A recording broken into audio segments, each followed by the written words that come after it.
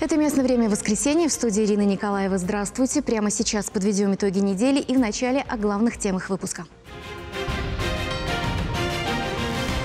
Учебный год традиционно начался с торжественных линеек и разговоров о важном. Пришла в первый класс, у меня очень хорошее настроение и много подарков. Я буду учиться в школе, получать хорошие оценки, желательно пятерки. В Мариинском посаде первых учеников приняла новая школа. Техникумы и колледжи республики будут готовить специалистов нового формата. Бизнес становится полноценным участником образовательного процесса. Федеральный проект «Профессионалитет» поможет решить кадровый дефицит. После участившихся случаев нападения больных животных в регионе усилили борьбу с бешенством. Для вакцинации домашних питомцев создают мобильные пункты. Эвакуированная во время войны фабричная библиотека станет современным центром общения. Люди различных возрастов смогут э, найти какие-то занятия э, по душе, смогут полностью погрузиться в культуру и искусство. В Чебоксарах по нацпроекту капитально ремонтируют учреждения культуры. Среди пары миллионов изданий отыскали царский экземпляр. Это буква «Н», вот она лежит, да, и две буквы «А» э, в прямом и зеркальном отображении. Николай Александрович. В Национальной библиотеке обнаружили еще одну книгу из коллекции императора Николая II.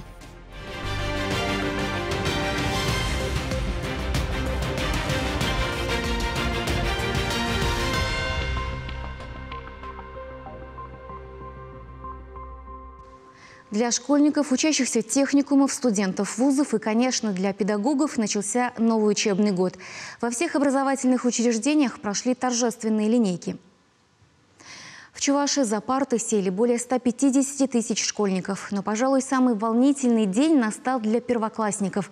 Более 17,5 тысяч маленьких жителей республики впервые переступили порог школы. Уже с понедельника всех учеников ждут полноценные занятия. В расписаниях появятся новые предметы. В каком настроении ребята пошли первый раз в первый класс в 59-й столичной школе, расскажет Елена Михайлова. Белые банты, строгие галстуки, новенькие портфели и волнение на лицах первоклашек. Такими в 59-ю столичную школу в этом году пришли около 250 учеников. Сегодня они – главные герои праздника. Все разные, но ожидания от школы почти у всех одинаковые. Пришел на линейку, через три дня иду в школу. Когда я вырасту, я хочу работать строителем. Я сегодня пришла в первый класс, у меня очень хорошее настроение и много подарков. Я буду учиться в школе, получать хорошие оценки, желательно пятерки. Торжественная линейка здесь, как и во всех школах республики, началась поднятие флагов и исполнение гимнов на русском и чувашском языках. Не меньше малышей волнуются и те, для кого этот праздник не вновь. Многие родители с ностальгией вспоминали свой первый день в школе. Наши дети, казалось бы, только недавно пошли в садик, закончили садик, уже школа. Новый этап жизни, такое прям знаменательное событие. Очень волнительно, очень радостно. Сейчас как будто бы я сама иду в первый класс. Хорошим стимулом для ребят в этом году станет и возвращение в образовательную систему серебряных медалей. С пониманием относится и обязательному трудовому воспитанию. Предмет ОБЖ теперь будет называться «Основы безопасности и защиты Родины». На классных часах продолжатся разговоры о важном. Педагоги начальных классов уже в первый день настраивают детей на позитивный учебный год. Я надеюсь, что у них будет прекрасно. Они все улыбаются, дружненько улыбнулись. Веселые. Я думаю, все у детей хорошо будет. В 59-й школе для всех учеников распахнула свои двери обновленная медиастудия «Новый взгляд». Заниматься журналистикой и медиатворчеством здесь могут дети разного возраста. Ребят научат создавать сюжеты, видеоролики, записывать интервью и не только. Первоклассникам и гостям школы с удовольствием показали современное оборудование и просторные студии. Интерес к таким профессиям, как журналист, оператор, режиссер, а, фотограф, оно все больше и больше у детей вызывает, да. И поэтому мы поняли, что дети в этом заинтересованы, и нам нужно их направлять, обучать, помогать и создавать им для этого условия. Школьные уроки, перемены с одноклассниками и домашние задания еще впереди. Елена Михайлова, Виктор Степанов, Вести Чувашия. В Мариинском посаде открылась новая школа. Поздравил школьников с Днем знаний глава Чуаши. Олег Николаев оценил классы, в которых будут учиться дети, заглянул в столовую и присоединился к уроку физкультуры. С подробностями Татьяна Иванова. В новой школе Мариинского посада будут учиться 329 учащихся. 36 из них – первоклассники. Трехэтажное здание построено в соответствии с современными требованиями. Приведена в порядок и пришкольная территория. Конечно же, мы не могли не приехать, чтобы разделить с вами эту радость. Ну и, конечно же, восхититься новой школой. А самое главное – пожелать вам успешного пути. В год педагога и наставника школа названа в честь Константина Ушинского. И здесь будет создан Центр образования естественно-научного и технологического направления «Точка роста». Ребята начнут заниматься в цифровых лабораториях, осваивать робототехнику. Но старт, как и во всех школах страны, традиционно начинается с первого звонка. В новой школе 20 преподавателей. Почти все имеют высшую и первую квалификационную категорию. Очень важно, что сегодня ваши дети, дорогие родители, приходят в здание, где учителя будут чувствовать себя очень комфортно, потому что классы большие, просторно, потому что есть новое оборудование. Со стороны республики делается очень много мер поддержки по оснащению замечательными интересными книгами, методическими материалами. Самое важное в школьных буднях – это полноценное питание. В столовой могут одновременно обедать 128 детей. Этого вполне достаточно, чтобы и начальные классы, и старшие имели возможность комфортно и без суеты принимать пищу. Просторно, светло и уютно в самих классах. Кстати, первоклассники сегодня получили наборы канцелярских принадлежностей. Все, что необходимо для мотивации на отличную учебу. В новой школе будет очень интересно учиться, потому что в этой школе предусмотрены все условия для того, чтобы дети с радостью ходили в школу и учились с радостью. Петр Александров ведет в школе секцию карате. Сейчас дети могут проводить занятия в просторном спортивном зале. А это дочь тренера, Юлиана. Она тоже занимается в секции и тоже начала учиться в новой школе во втором классе. А глава республики решил присоединиться к баскетболистам. Я же чуть-чуть техникой научился в строительном. Я, конечно, там мяч, мяч научился дать эффективный толчок нашему спортивному залу. Мариинско-посадские школьники дали Олегу Николаеву еще один шанс – забить в ворота уже на школьном стадионе. О, молодцы! О, вот так вот надо защищать ворота. Но не в девчонок же посылать мяч. Вот такой урок физкультуры прошел сегодня в новой школе. В подарок от главы дети получили большую спортивную авоську мячей. Татьяна Иванова, Вадим Владимиров, Вести Чувашия. В Чувашии к новому учебному году все школы перешли на централизованную систему питания. Практика, реализованная ранее в двух муниципалитетах, признана эффективной. Всего горячим питанием в школах будут обеспечены более 150 тысяч учеников, почти половина из которых – школьники начального звена. Вопрос организации горячего питания в общеобразовательных организациях региона обсудили в Доме правительства. К примеру, на завтраки и обеды для учеников первых четвертых классов из бюджета направят 720 миллионов рублей. В новом учебном году стоимость питания для этой категории вырастет на 3 рубля по сравнению с 2022. На организацию питания учеников пятых-одиннадцатых классов из многодетных малоимущих семей выделено порядка 42 миллионов рублей. В прошлом году школьные столовые посещали две с половиной тысячи детей из этой категории. На совещании еще раз подчеркнули, обеспечение учащихся полноценным и сбалансированным питанием – это приоритетная задача регионального правительства. Затем, из чего и кто готовит детям еду, намерены следить еще тщательнее, привлекая в том числе и родителей. В профильном ведомстве заверили, на все замечания по поводу качества и веса блюд будут реагировать оперативно. Отмечу, что Чуваша первой в стране полностью централизовала школьное питание.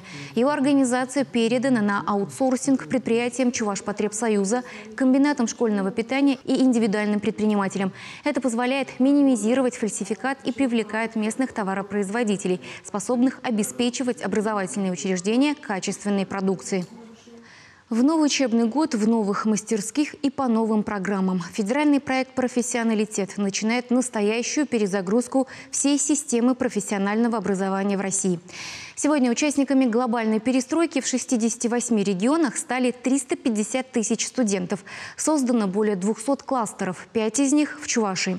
Студенты техникумов и колледжей республики, вошедшие в профессионалитет, приступают к освоению востребованных на рынке труда профессий.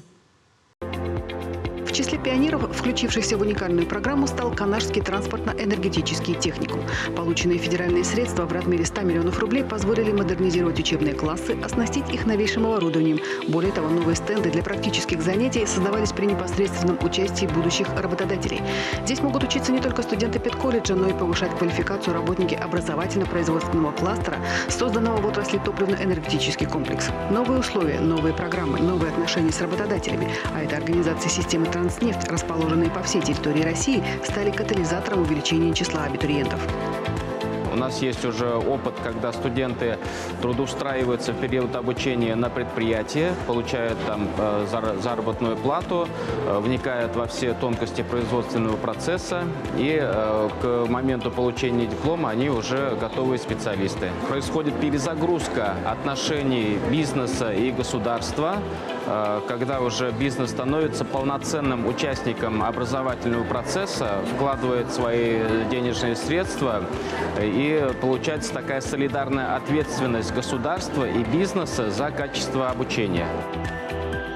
С обновленной учебной базой начинает новый учебный год и Чебоксарский электромеханический колледж. К федеральному проекту «Профессионалитет» здесь тоже подключились в прошлом году и провели масштабную работу. Не только подготовили тренировочные стенды, имитирующие на 100% заводские линии, изменили учебные программы, сделали их более интенсивными и практикоориентированными. Все это вместе с будущими работодателями, число которых, кстати, тоже увеличилось. В прошлом году соглашение было подписано с управляющей компанией «Транспортное машиностроение», а сегодня в этом списке и предприятие электромеханического кластера семестра. Поток желающих поступить в наш колледж а, резко увеличился. А, учитывая ситуацию в стране, отрасль машиностроения стала очень востребованной. На сегодня мы уже набрали 875 абитуриентов, то есть уже студентов. После окончания наш студент будет высококвалифицированным специалистом, востребованных во всех сферах э, экономики не только нашей республики, но и страны. Апгрейд ждет и педагогический колледж имени Николая Никольского. Победителем конкурсного отбора на предоставление федерального гранта в 60 миллионов 500 тысяч рублей он стал в этом году. Здесь уже создан кластер в отрасли педагогика. В его состав вошли 30 организаций. Это и учреждения дополнительного образования, школы и детские сады.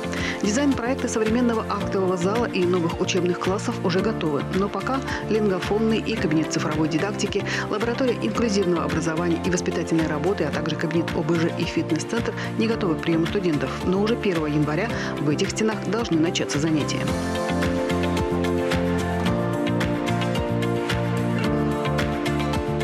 обещаем э, полное погружение в профессию уже с первого курса. Абитуриенту, который к нам поступает в этом году, они самые первые, они пионеры профессионалитета по отрасли педагогика. Хочется сказать, ты в хорошей компании. Детям очень интересно, они с удовольствием уже задают вопросы, как мы будем учиться, а будут ли на первом курсе занятия именно в этих кабинетах. Образовательным центром для кластера «Туризм и сфера услуг» стал Чебоксарский техникум технологии питания и коммерции. Он является грантообладателем в 70 миллионов рублей. Федеральные средства будут направлены на создание новых современных зон для будущих шеф-поваров и виртуозов-кондитеров. Появится здесь учебный салон красоты, а также компьютерные классы, где студенты будут знакомиться с основами торгового дела и кассовых технологий. Кстати, именно профессию кассира выбирают в качестве дополнительной не только студенты, решившие связать свою судьбу с предприятиями общественного питания, но и гостиничного хозяйства. Республика взяла четкий курс на развитие туризма, а значит, этой перспективной отрасли понадобится солидный штат и портье, и горничных, и официантов.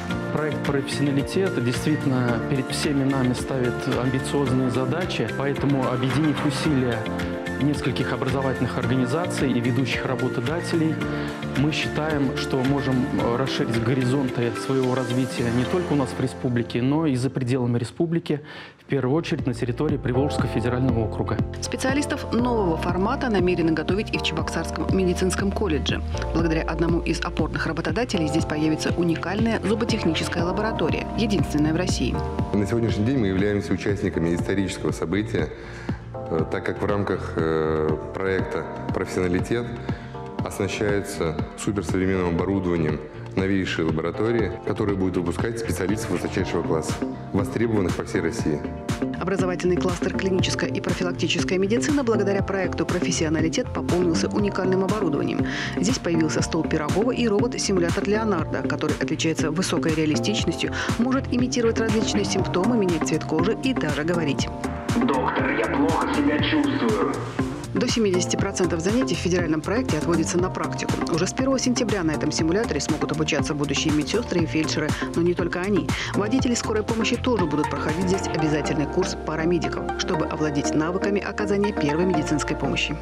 Мультидисциплинарная бригада совместно, да, и э, образовательный э, свой поток, и э, медицинский общий, вот привели к такому серьезному проекту, и на сегодняшний день это все реализовано. Я считаю, что это очень красиво, это очень привлекательно.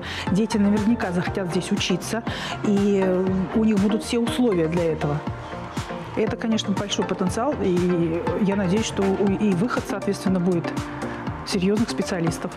Мы максимально в короткое время сможем помочь нашему реальному сектору экономики. В нашем случае это э, клиническая медицина.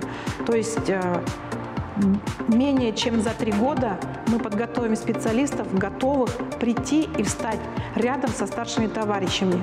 И мы верим, а точнее мы знаем, что нашим выпускникам в дальнейшем никогда не скажут «забудь то, чему тебя учили в колледже». Сегодня федеральный проект «Профессионалитет» – это не просто перезагрузка системы профессионального обучения. Это квантовый переход на новый уровень. И это не только инновационное оборудование и обновленные учебные кабинеты. Это современный подход к набирающей обороты экономике, которые нужны устремленные в будущее высококвалифицированные специалисты. Мы, амбассадоры профессионалитета, надеемся, что новый кластер поможет найти молодым людям востребованные профессии. С нами ты в хорошей компании! Меры безопасности в единый день голосования обсудили на координационном совещании по обеспечению правопорядка в республике. Оно прошло под председательством главы региона Олега Николаева. По данным МВД по Чуваши, для безопасности в дни выборов задействуют личный состав органов внутренних дел, а также сотрудников Росгвардии и ОМОНа. Помещения для голосования будут оборудованы стационарными и ручными металлодетекторами. Также руководителям учреждений, где будет проходить голосование, рекомендовали дополнительно позаботиться об антитеррористической защищенности. По словам заместителя председателя избиркома Чуваши Игоря Михайлова, в организации и проведении выборов, которые пройдут с 8 по 10 10 сентября участвуют 9 территориальных и 34 участковых избирательных комиссий. Все они обеспечены системами видеонаблюдения. А в Аликовском, Маргаушском, Ринско-Посадском и Чебоксарском округах в дни сентябрьских выборов будет организовано выездное голосование с использованием автобусов. Само голосование будет проходить в течение трех дней э, с 8 по 10 сентября ежедневно с 8 часов до 20 часов. При этом будет осуществляться ночное хранение заполненных э, бюллетеней с использованием сейф-пакетов, которые будут храниться в специальных сейфах, металлических ящиках. Два очага бешенства, зарегистрированные в Чебоксарах, создали широкий общественный резонанс. Жители республики встревожены и опасаются за своих домашних животных.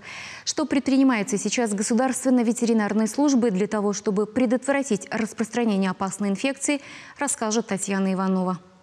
Первый случай бешенства зарегистрирован 18 августа. На окраине юго-западного района Чебоксар бездомная больная кошка укусила ребенка. Второй очаг был обнаружен 23 августа. На обочине Вурнарского шоссе возле дачного поселка ветеринары обнаружили труп кошки. Вскрытие подтвердило бешенство. Сейчас в очагах проведена санитарная обработка. Пострадавший мальчик проходит курс антирабической вакцинации. Как сообщил руководитель Госветслужбы республики, в регионе за 7 месяцев привито против бешенства 200 тысяч сельскохозяйственных животных, 150 тысяч домашних. И в основном на селе. Намного реже своим питомцам делают прививки городские владельцы. Нынешние очаги бешенства зарегистрированы именно в городе и у бездомных животных. Намного хуже была ситуация несколько лет назад. За последние 10 лет самый пик заболеваемости животных э, бешенством выпал на 2015 год. А, тогда было зарегистрировано 70 случаев э, заболевания заболевания бешенством. Из них 52 случая было это среди дик, диких животных, 8 э, среди собак. И по одному это крупнорогатый скот заболел и один хорек. Это было связано с отсутствием поступления вакцины против бешенства э, для диких животных. В течение двух лет поставка данной вакцины не было, поэтому оральная вакцинация диких плотоядных, это лисиц, янтовидных собак, не проводилась, и поэтому сложилась такая ситуация в 2015 году. Вирус бешенства сначала поражает диких животных, которые могут передать инфекцию домашним, а от своих питомцев уже могут заразиться люди. В этом году Чувашия получила 26 тысяч доз вакцин для диких животных. И в ближайшее время поступит еще одна крупная партия. Ветеринары, егери, охотники будут раскладывать препарат в лесах, на тропах и возле лисьих нор. Животное, когда дикое плотоядное, когда его прокусывает, э, вакцина состоит из блистера, в котором есть э, вакцина. Да, вакцина. То есть при прокусывании ранит э, десну, условно слизистую говоря, оболочку. слизистую оболочку ротовую, и, соответственно, это вакцинируется таким способом. Для того, чтобы как можно больше привить домашних кошек и собак, ветеринарная служба республики намерена проводить выездную вакцинацию. Мобильный пункт будет выезжать в городские дворы. Так быстрее и проще обезопасить от бешенства чебоксарских мурок и шариков. Татьяна Иванова, Святослав Петров, Вести Чувашия. Не дом книги, а настоящий многофункциональный центр. В Чебоксарах в рамках нацпроекта «Культура» модернизируется библиотека имени Леонида Агакова. О новшествах, которые подготовили для читателей, расскажет Екатерина Данилова. Библиотека открылась 82 года назад. Ее история крайне интересна. В 1941 году из Тверской области эвакуировали хлопчатобумажный комбинат. Вместе с ним в Чебоксары переехала и библиотека технической литературы. Тогда она обслуживала только рабочих фабрики. Спустя годы стала общедоступной. Сейчас здесь зарегистрированы более 6 тысяч читателей. После модернизации количество посетителей увеличится, уверены в Доме книги. Основная идея модернизации этой библиотеки, а, которая, э, конечно же, разрабатывалась, вот, это создание многофункционального а, пространства Центра творчества и развития объединяющего поколения. Вот, то есть здесь, а, в этой библиотеке, люди различных возрастов смогут найти какие-то занятия по душе, смогут полностью погрузиться в культуру и искусство. То есть они здесь смогут читать новые книги, пользоваться а, какими-то электронными удаленными ресурсами, а, которые могут быть и просто информационными, и полнотекстовыми. То есть это и национальная электронная библиотека, электронная библиотека Чувашской республики. На 500 квадратных метрах расположится творческая мастерская, зона тихого чтения, отдыха, коворкинга, городская гостиная для встреч и работы. Появится даже звукозаписывающая студия. Обновится пространство и молодежной площадки ХБК. Расшифровывается «Хочу быть культурным». Площадка, она а, имеет отдельный вход. Вот. а, Здесь о, молодежной площадке будет два как бы помещения, две площадки. Первая площадка – это выставочная зона, а, которая будет оснащена такими современными выставочными модулями. И вторая площадка – это уже будет предназначена для проведения мероприятий э, с таким небольшим а, ступенчатым подиумом. Работы по обновлению библиотеки начались в начале лета. В октябре их планируют завершить. Никаких причин для отставания от графика нет. В рамках капитального ремонта идет полный демонтаж, в общем. Меняется система отопления, электрика, система водоснабжения, то есть ремонт всех коммуникаций, существующих стен. То есть сначала были выполнены работы такие полностью разобрали все, что ветхое.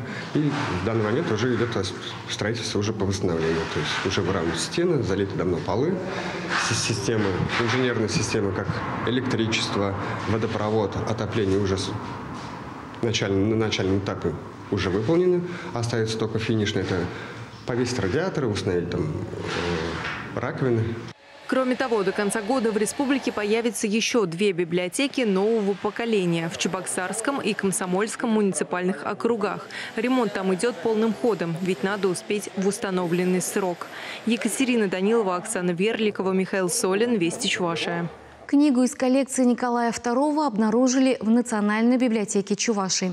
На ней личный знак последнего российского императора. Сотрудники учреждения полагают, что Николай Александрович точно держал ее в руках и читал, ведь заказывалась она специально для его величества. Что это за издание и какие еще удивительные экземпляры были найдены в хранилище, знает Наталья Егорова.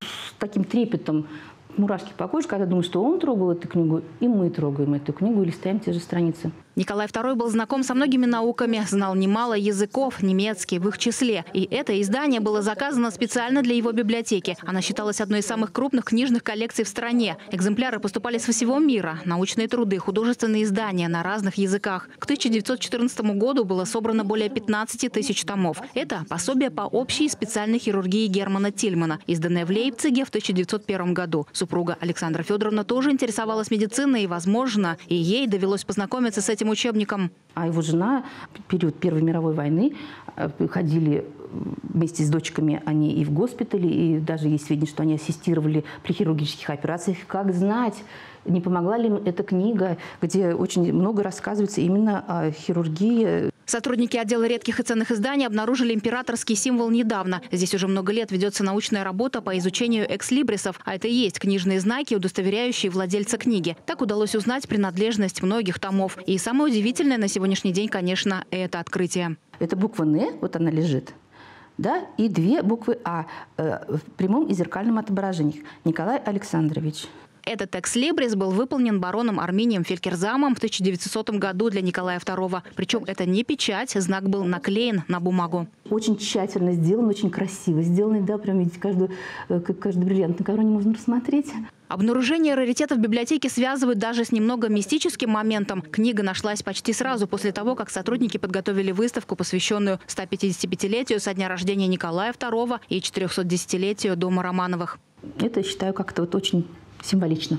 Некоторые читатели удивляются, почему такое ценное издание не было обнаружено раньше. Но стоит понимать, в фонде библиотеки более двух миллионов экземпляров, тысячи в отделе редких книг. На изучение каждой необходимо время, поэтому раритеты и выходят в свет постепенно.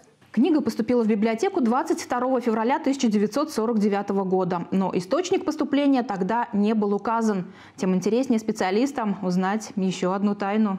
Одна из версий, что издание в Национальную библиотеку попало из Государственного книжного фонда, созданного в стране в 1918 году. В отделе редких книг есть еще несколько экземпляров, принадлежавших членам семьи Романовых. Тут и русско-французский словарь, и роман Фенемора Купера, и стихи поэта Мятлина. Работа продолжается. Кто знает, какие еще сокровища удастся выудить из книжных закромов. Наталья Егорова, Андрей Шоклев, Вести Чувашия. Такой запомнится эта неделя. Следите за событиями республики вместе с нами. Я желаю вам хорошего дня и до свидания.